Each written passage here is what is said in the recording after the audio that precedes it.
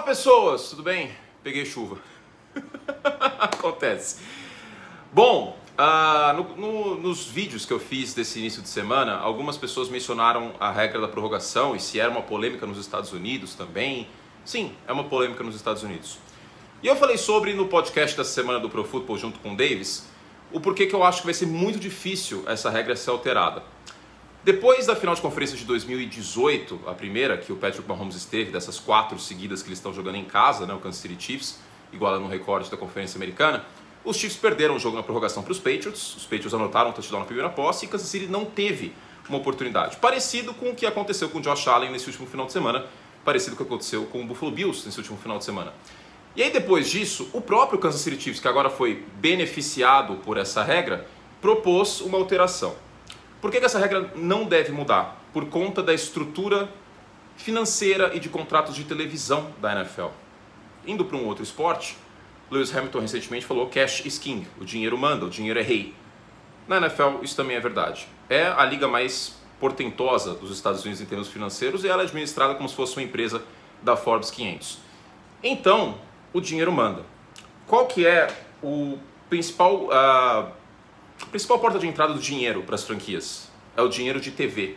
O dinheiro dos contratos de TV com a CBS, barra Viacom, barra Paramount Plus, com a Disney, ESPN, nos Estados Unidos ABC, com a Fox e com a NBC, que também tem um braço de, de mídia tal, do Peacock, que aqui não tem no Brasil ainda.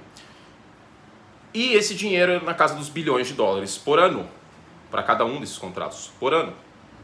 Curte, qual que é o problema então? No college a gente tem prorrogação com o time tendo cada posse. No college cada time tem necessariamente uma posse de 25 jardas. É como se fosse uma, uma disputa de pênaltis, de posses. Em vez de pênalti, você tem uma posse para anotar o touchdown. Tal. Se um time anota o touchdown, o outro tem a chance de anotar o touchdown e empatar de novo. O problema é que o college football ele tem a maior parte dos seus jogos, salvo algumas exceções, um jogo na ABC, um jogo na CBS, mas são tantos jogos que isso não altera. Mas a maior parte dos jogos é TV a cabo nos Estados Unidos. E se tem a prorrogação num jogo, não vai afetar tanto o restante, porque é muito pulverizado, são 130 times da primeira divisão. Na NFL é diferente, a gente tem três janelas no domingo. A gente tem a janela da, janela da 1 hora, a janela das 4h15, 4 e 5, 4 e 15 e o Sunday Night Football às 8 e 20 Tem prorrogação no college que se arrasta bastante. A gente teve um jogo de Penn State nesse último ano, por exemplo, teve várias prorrogações. O jogo foi interminável. O problema é que se o jogo das 4 e 15 vamos supor o seguinte cenário, um jogo das 4h15, eu estou inventando aqui um calendário, tá? Um jogo entre Packers e Buccaneers, que não tivemos, das 4h15. Tem quatro prorrogações seguidas, porque Tom Brady e Aaron Rodgers estão pegando fogo. E aí esse jogo se arrasta até as 9h15 da noite, horário dos Estados Unidos. E o Sunday Night Football é, sei lá, Steelers e Chargers, vamos dar um exemplo. Que são dois mercados consumidores relevantes para a NFL, os Steelers com a torcida nacional, os Chargers Los Angeles, mas as pessoas vão continuar assistindo o jogo da Fox, o jogo entre Buccaneers e Packers, que não acabou ainda. 9 e 20 está rolando. E o Sunday Night Football, o pessoal deixou para lá um pouco.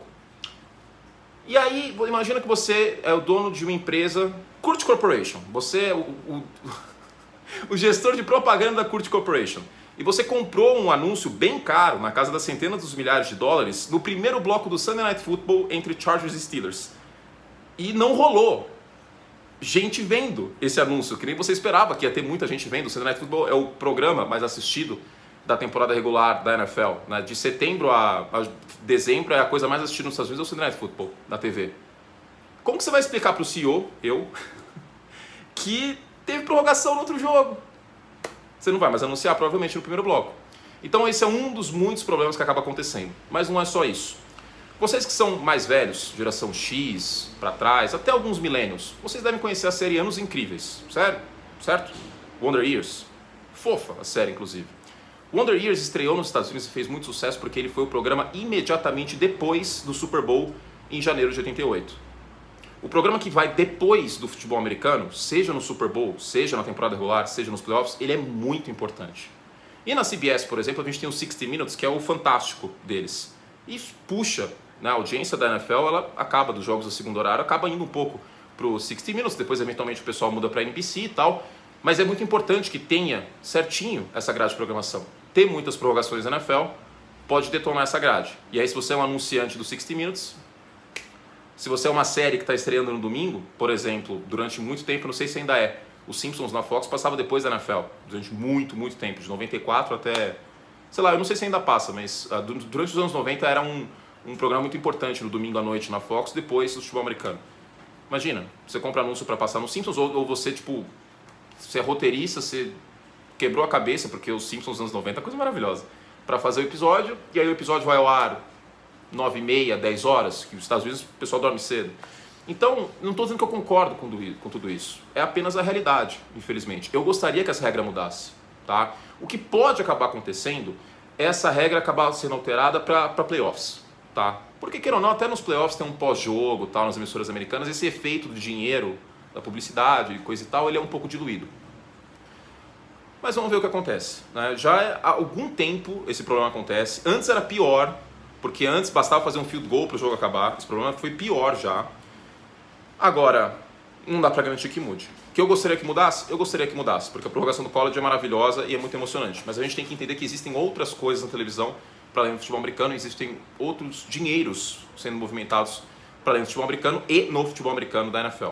Então, como a TV é muito importante para a NFL, ela acaba cedendo nesse aspecto. Como disse, já houve uma proposta recente do próprio Kansas City Chiefs para alterar essa regra da prorrogação e ela não passou. Sabe quem que vota? Os donos de time.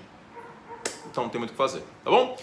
Eu sei, a regra não é das melhores, mas é a vida, né? Vivemos aí num sistema onde o dinheiro é a lei. Beijo pra vocês, fizemos o que. Eu não ia fazer esse vídeo, eu ia tirar folga hoje, mas aí eu tava nadando, começou a cair, tempestade, molhou tudo minha camiseta. Você ah, quer saber? Vou fazer esse vídeo, né? Tava pensando nisso enquanto tava nadando e tal. Espero que vocês tenham gostado, espero que uh, tenha feito sentido também, tá bom?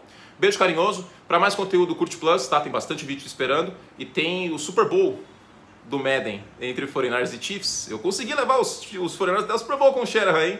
Beijo, Caio. Sei que você está vendo esse vídeo aí direto de Santa Clara. Assistam lá para os membros Curte Plus demanda. E tem live vindo na roxinha aí direto, tá? Barra Antônio Curte User, tá bom? Beijo carinhoso. Até a próxima. Tchau.